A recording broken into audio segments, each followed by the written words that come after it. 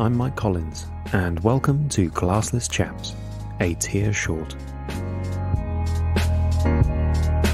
As you may have noticed, here at the Infinite Escape Room, we love a drink. And in these occasional bonus episodes, we'll take a short break from puzzles and banter to wax lyrical about the drinks that we love. In this episode, Dom will be sharing his honeymoon affair with Norrlands Guld.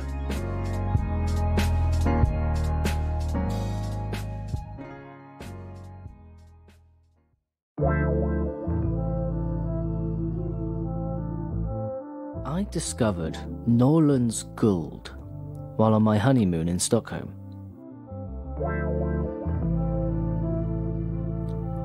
We were out on a night of drinking in Gamla stan, Stockholm's old town. I was starting to get a bit sick of mead, and so sought out a draft beer that might cleanse my palate.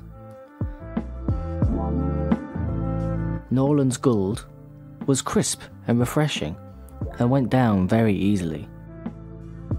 It started slightly sweet, was pleasantly hoppy throughout, and ended with a hint of bitterness.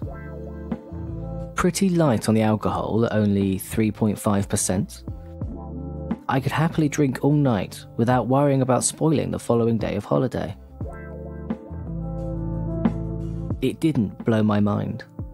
It wasn't a taste sensation. My favourite beers are often dark, high percentage, and thick with flavour. Norrlands Guld was none of these. But, golden and lightly flavoured, it was a fantastic counterpoint to the rich and heavy food we were eating everywhere we went. I was happy to have found a Swedish brand to drink, a beer that felt more local than the porters, imported lagers, and the IPAs that seemed to be on offer everywhere. This became my beer of choice throughout the rest of a magical holiday. Five of them at the hockey, a pack of them for an evening in the swanky hotel room, and something I was confident would be on tap in any bar we went to. When I returned to jolly old England, I briefly considered seeing if there was somewhere I could get this pleasant golden liquid on my native shores.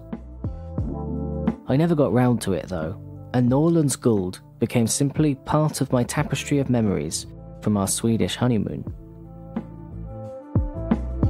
That is, until I did a brief bit of research before recording this.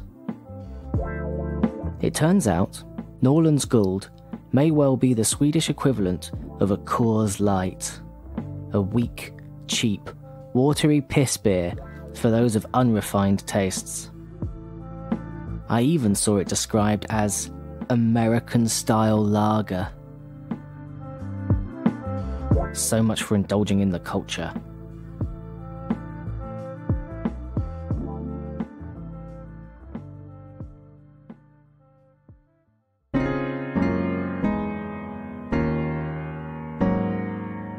Glassless Chaps is an Infinite Escape Room short.